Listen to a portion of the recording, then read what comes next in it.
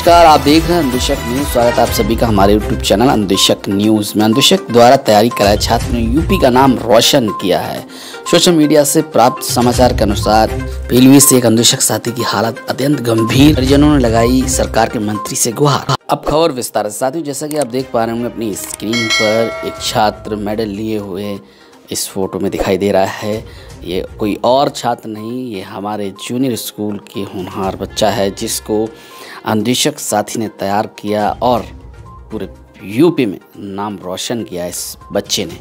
उत्तर प्रदेश में शिक्षा के स्तर को लगातार अच्छा करने की बात कही जा रही है। इस शिक्षा में लगातार निदेशक महती भूमिका निभा रहे हैं। इसी क्रम में फतेहपुर ज़िले के एक छात्र ने भारत के राज्य आसाम में प्रदेश का नाम रोशन किया है। यानी कि हमारे यूपी का नाम रोशन किया है, दूसरे प्रदेश में जाकर और झंडा गाड़ा है, यूपी वेस्ट के जूनियर स्कूल की द्वारा। तो साथियों, इसका श्रेय अन्वेषक साथी को जाता है, जिन्होंने राष्ट्रीय योगासन प्रतियोगिता में बच्चे को तैयार करके भेजा और बच्चा वहाँ से जीत कर आया। जैसा कि आप देख रहे हैं, राष्ट्रीय योगासन प्रतियोगिता का आयोजन दिनांक 27 जनवरी 2023 को असम प्रदेश के गुवाहाटी संपन्न हुई, जिसमें यूपी के फतेहपुर ज़िले के ग्राम मिराई के छात्र प्रतीक सिंह, पुत्र अविनाश सिंह तृतीय स्थान पर रहे।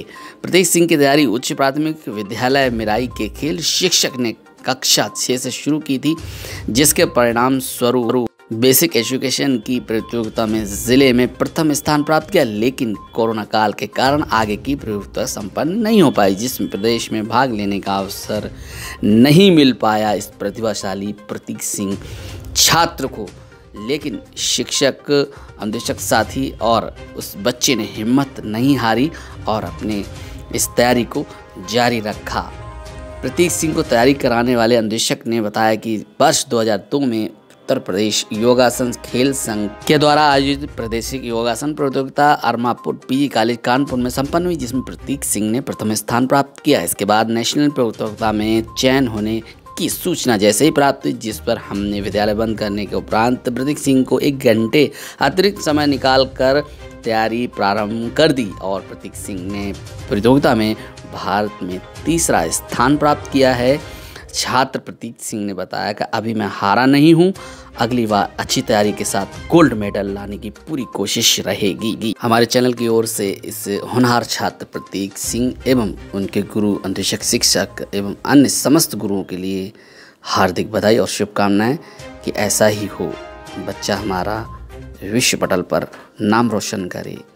साथ ही दूसरा समाचार सोशल मीडिया के माध्यम से प्राप्त हो रहा है। पीलीभीत से एक साथी अनुदेशक है हमारे जिनको ब्रेन हेमरेज हुआ है। हमारे साथी वरिष्ठ खेल अनुदेशक विक्की सोनकर हैं उच्च प्राथमिक विद्यालय दुर्जनपुर में। जो कि पूरनपुर पीलीभीत के क्षेत्र में आता है। इनको अचानक ब्रेन हेमरेज हुआ है जिनको लाइफ लाइन अस्पताल बरेली में एडमिट कराया गया है। स्थिति अत्यंत गंभीर है।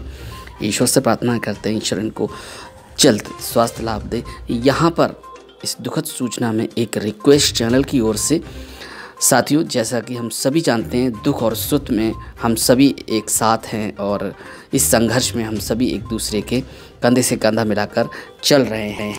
लेकिन ये सभी जानते हैं कि अन्वेषकों की आर्थिक स्थिति क्या है। यहाँ पर एक निवेदन किया गया है कि आप विक्की सोनकर भाई के अकाउंट में, उनके भाई का यहाँ पर अकाउंट दिखाई दे रहा है, उसमें आर्थिक मदद करें ताकि वो अच्छे से अच्छा इलाज करा सकें।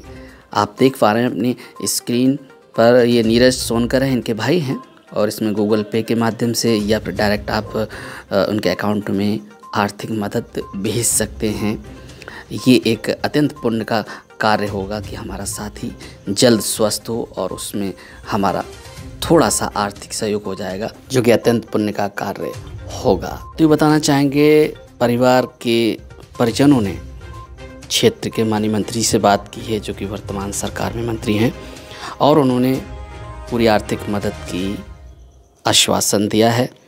उम्मीद करते हैं माननीय मंत्री जी अपनी पूरी सेवाएँ मुहैया कराएँगे, जो कि उनके बस में है। यहाँ पर एक शेर के बाद हम अपना समाचार आज का यहीं समाप्त करेंगे। सवा अकबराबादी की लाइनें क्या सटीक आज सिद्ध हो रही हैं? ज़िक्र एक बेवफा और सितमगर का था। आपका ऐसी बातों से क्या वास्ता? आप तो बेवफा और सितमगर नहीं। आपने किस लिए मुँह उधर कर लिया? सादगी तो हमारी ज़रा देखिए एतवार आपके वादे पर कर लिया। अंदेशक तन मन धन से लगे हैं और लगे रहेंगे। मैं यही उम्मीद जताता हूँ क्योंकि ये राष्ट्र हमारे लिए सर्वोपरि है और हम देश के नौनिहालों को तैयार करते रहेंगे। इसी के साथ मिलते किसी और अपडेट के साथ। साथियों एक सूचना, अगर आप हमारे साथ कुटुंब ऐप पर जुड़ना चाहते हैं, क्योंकि अंदेशक न्यूज़ की कुटुंब ऐप आ चुकी है तो आप जुड़ें और अपने विचार, सुझाव हमें दें। स्वागत है आप सभी के विचारों का और सुझावों का। इसी के साथ मिलते हैं किसी और अपडेट के साथ। जय हिंद, जय भारत, वंदे मातरम।